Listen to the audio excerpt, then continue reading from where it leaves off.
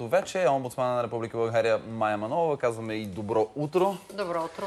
Ще добро говорим утро. за тема, която също а, не повдигаме за първи път. Ще ви разкажем само след малко една а, абсурдна, бих казал, история, но доста хора като че ли влизат в тази спирала от проблеми в отношенията си с а, частни съдебни изпълнители, фирми за бързи кредити.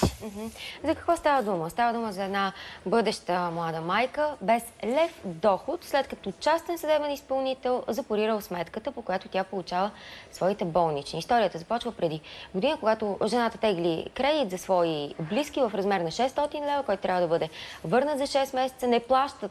Последните две вноски не са платени така или иначе. Разбира, че дължи още 300 лева. Те стават след това После, 600. да, 600. Така или иначе, разказвали сме а, за, за такива а, случаи. Този обаче е особено абсурден. Ще видим сега дали някой превишава правата си, дали ние познаваме правата си, как могат да бъдат защитени правата ни на длъжници. Но най-напред репортажа. Това е на Рада Богданова.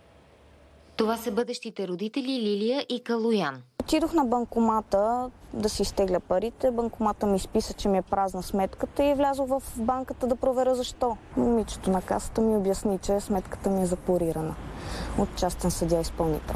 Запорът е заради кредит, теглен от Лилия за нейни роднини. Считан за погасен от тях, но не и от кредитора. Ние въобще не знаехме, че има някакви задължения относно този кредит. Не сме били уведомени по никакъв начин, а, че ще има такова изпълнително дело, че ще има някакъв запор. А, ние не се криеме. А, тя не е получила нищо нито на адреса си, нито в работата си. И в един момент става така, че те спират всичките й пари, след което ние се обадихме веднага в кантората на въпросния съдя изпълнител. Оттам не ни беше дадена никаква информация. И аз се свързах с тях. Те твърдят, че вие сте отказали да разговаряте с юрист-консулта по случая. Да, отказахме, защото искахме да се консултираме с адвокат. Консултацията вече е проведена. А дали тези пари тя ги дължи и дали това е сумата, която тя дължи, това подлежи наистина на въпрос на доказване и може да се търси обещатение от тяхните действия, защото те наистина са увредили интересите на Лили. Тя е останала без единствените си приходи. Видно от извлечението от банката, друго освен болнични от НОЙ, Лилия не получава. Колко пари очаквахте сметката си? 450 някъде имаше Размерът вътре. на болнични? Да. Според бележката от банкомата, с още две месечни обещетения тя би излязла на нула. На практика обаче с тях тя трябва да яде за двама. Затова и по закон те не могат да й бъдат отнети, дори да беше най-голямата длъжница в държавата. От кантората на частния съдебен изпълнител отказаха да застанат пред камерата ни с мотив, че са много заети. Относно оплакването на Лилия, че не са известили за делото, коментираха, че си има контролни органи, които, цитирам, да ги проверяват. На останалите ни въпроси отговориха с имейл. В него уточняват, че изрично са предупредили банката запорът да не се счита за наложен за суми като болничните на Лилия и че са получили уверение, че бременната може да си изтегли парите. Ходих а, и попитах на касата има ли някакъв друг вариант да си взема парите. Друг вариант, а не през банкомат, има, но едва ако Лилия се обърне за съдействие към менеджера на банковия клон. Той да удостовери, че нейните пари и се полагат. Придружена от адвокат и от телевизионен екип, тя вече знае, че с един отказ на гишето животът не свършва, а с питане и до менеджерите се стига. Само дето следващия път ще трябва пак да пита. Бременна вече в 8-я месец. Това е за мен е грубо посегателство относно личността на човек и трябва нещо да се промени. С жалба и очаквания Калоян и Лилия се срещат с омбудсмана Майя Манолова. Случаи като техния са до болка познати в нейния офис. Ще влязат и в дневния ред на Народното събрание. Дебатът за промените предстои. Ясна е ситуацията. Госпожо Манова, вие очевидно сте запознати с тази история, която за съжаление обаче изглежда малко по-скоро като не изключение, а м- проблем за други хора. За съжаление, това се превръща почти в правило. В този случай можем да изброим повече от пет нарушения на правата на Лили. Първо, тя е осъдена зад гърба й, без да знае, за дълг към фирма за бързи кредити, по размера на който е могла да възрази. Второ, срещу нея е започнато принудително изпълнение без да бъде уведомена за това и без да й бъде даден реален срок за доброволно изпълнение, т.е. тя би могла да изпълни. Трето, наложен е запор върху един доход, който не трябва да се пипа, така наречения несеквестируем доход. В случая това е болничен за предстоящо раждане. Четвърто, размерът на дълга е нараснал неимоверно. Става дума за един дълг към фирма за бързи кредити от 600 лева. Погасени са 900 лева. В момента тя дължи още 400 лева, т.е.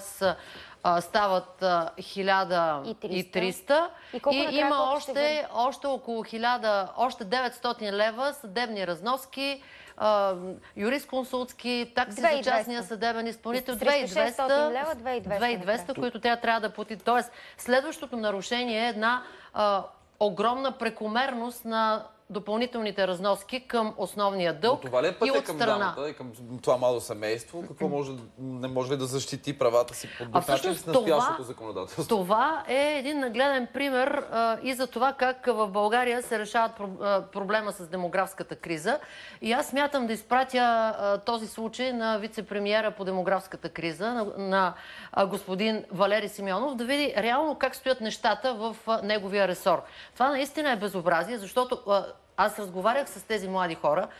Те не са получили по нормален начин информация от частния съдебен изпълнител, какво, защо и как им е наложено. След това достъпа до информация от банката също е достатъчно затруднен. Трябва да отидеш с адвокат, на който да платиш. Трябва да викнеш телевизия, за да в крайна сметка да получиш нещо, което ти се дължи по закон. Обаче, госпожо Манолова, Тоест изброихме До- сигурно 6 нарушения на права в този случай. Да, до някъде а, историята е обяснима. Те са теглили този кредит, а, съгласили са се с а, условията. От тук нататък обаче факта, че не са че е уведомени... така? а, От Защото тук нататък факта, случ- че не са уведомени, че не са имали възможност да обжалват размера, че не са имали възможност за доброволно изпълнение, от тук започва вече голямото нарушение. И това, чие е нарушение? Кой носи отговорност за това? Всъщност това е огромният проблем, защото а, според действащото законодателство не може един а, дълг, един бърз кредит от 600 лева в крайна сметка да нарасне три пъти в рамките на по-малко от една година. Ако а, тя беше уведомена а, за а, това искане на фирмата за бързи кредити, можеше да направи възражение пред съда и тогава съдът щеше да отхвърли тяхната претенция въз основа на прекомерност, липса на справедливост и конкретно нарушение на закона. Но тъй като тя няма достъп а, до съд, тези възражения са пропуснати и а, срещу нея е издадена заповед на А това е изпълнение. След това, частния съдебен изпълнител. частният съдебен изпълнител не я уведомява за това, че може доброволно да изпълни и така да си спести част от тези 900 лева допълнителни разноски. След това банката не се съобразява с действащото законодателство и налага запор върху едни суми, които са не- неприкосновени, защото това е бъдеща майка. А, освен А това, банката, ако... а банката, чакайте само да уточним това. Банката, частния съдебен изпълнител, другите страни, трябва ли да знаят, че това са пари, които са пари за болничен и са по, по тази причина неприкосновени? А, или когато започне някакво такова производство, такъв процес, а, самия потребител трябва да информира, че това са негови пари, които не подлежат на, как, на да, запор. как да информира, като той не знае, че срещу него изобщо се води процес, че има съдебно изпълнение и че в крайна сметка е осъден и ще плаща. Но банката е длъжна да провери какъв е източника на средствата и в случай като този, в който става дума или за минимална работна заплата, или за издръжка, или за майчинство, да не налага Да запор върху тези суми, конкретно върху тези суми, които се плащат от другото? Значи тези хора, хора са десетки, стотици, десетки хиляди, стотици хиляди. Вчера, например, получих една жалба от работодател, който ме моли да се намеся, защото и ми обяснява, че една трета от работниците му а, имат запори а, върху а, трудовите възнаграждения. Че това е а, Сходен пандемия. сценарий? Да, и конкретният случай, в който, за който той сигнализираше, е за една сума от 3,50 а, която се оказва, след като проверих, че това са почтенските разноски за уведомяването на длъжника за това, че дължи 50 лева някаква глоба на една българска община. В какъв дълг Човек е платил тези 50 лева, тези 3,50 са станали а, 153,50. И той пита, това възможно ли е, нормално ли е? И ме моли да се намеся. И тъй като молбите към мен да се намеся станаха наистина стотици. Аз съм изготвила законодателни предложения, заедно с неправителствени организации, правозащитни организации, които Миналата седмица, в първите дни на новия парламент, внесохме през председателя на парламента до всички народни представители. А ако тези предложения бъдат приети, този случай ще стане невъзможен. Кажете обаче конкретно, защо ще стане невъзможен? Как Лили ще бъде уведомена за това, което започва срещу нея като Сега, предварително, а, как в така нареченото заповедно производство, в което аз претендирам от вас, например, една сума в размер до 25 000 лева, съдът ме уведомява, като ако не ме намери на адреса, ми лепи едно съобщение на вратата. Едно обявление, че срещу мен се води дело. Подозирам, че в една голяма част от случаите такова обявление изобщо не се залепва. За да ра- нарастват разходите Ма, и съответно ами, накрая по- парите, по- които по са най-различни Тоест, една причини. от регулациите е Една от лично регулациите не- да. Да, на така че аз, задълженото а, лице. Ама аз ако ви Предлагам- дължа пари, аз ще ви предлагам- се крия, нали знаете? В Ами- смисъл ще гледам да не ме намерите, така че това да не се окаже... Напротив, във ваш интерес е да ви намеря, защото виждате до какво се стига. Да, и Аз това е твърдя, така. че една огромна част от длъжниците Не, в България да кажа, не са добросъвестни и... искат да платят. Те просто нарочно в част от случаите не се информират. Това е схема.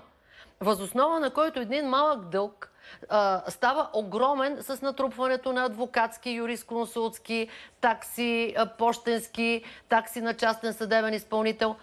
След това частният съдебен изпълнител е длъжен да й даде срок за доброволно изпълнение, като я уведоми за него, но той не го прави, защото по същия начин обявлението може да бъде направено и, чрез залепване. Предлагам във всички тези случаи тази възможност да се изключи.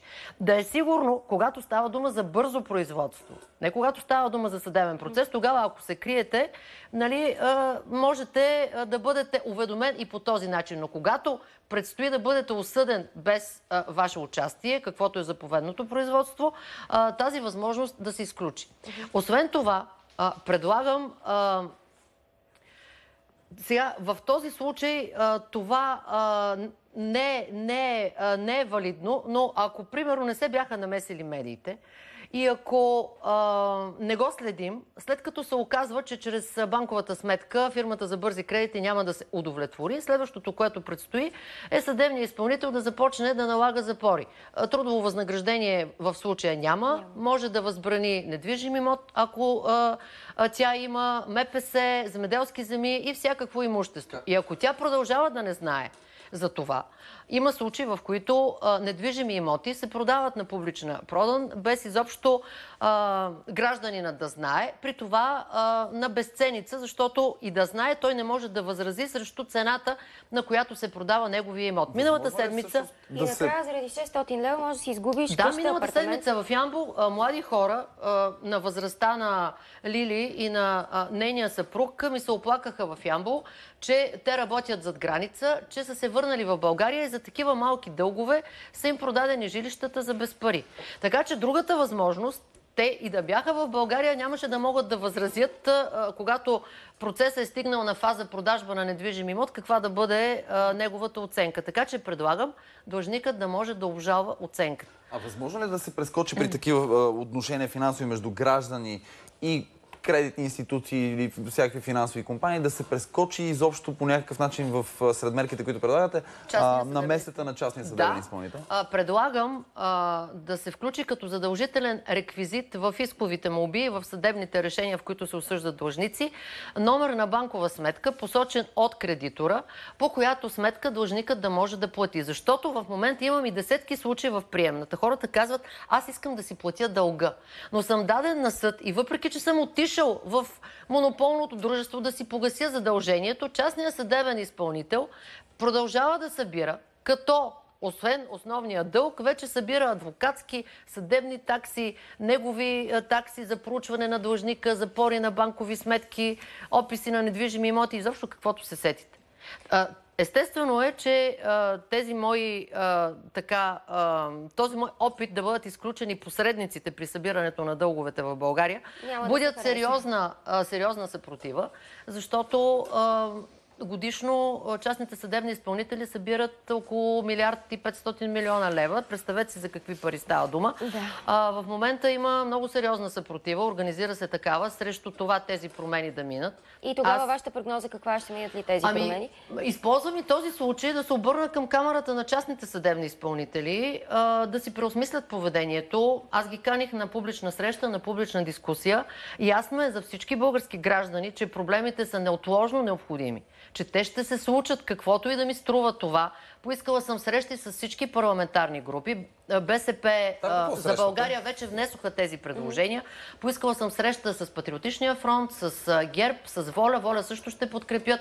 В предния парламент Патриотичния фронт беше вносител на тези мои а, предложения. Така че аз съм сигурна, че може да се събере мнозинство. По-добре е това да стане а, с съдействие на камерата. Тук задавам един друг въпрос. Защо в случая е казал, е казал частния съдебен изпълнител, ние си имаме контролни органи. Ами тези контролни органи трябва да работят по-ефективно, да наказват, да предупреждават, да стоят и на страната на длъжника, не само на своите си членове, а, частните съдебни изпълнители. Служба Разбрах благодаря ви ви. за това Благодаря. гостуване.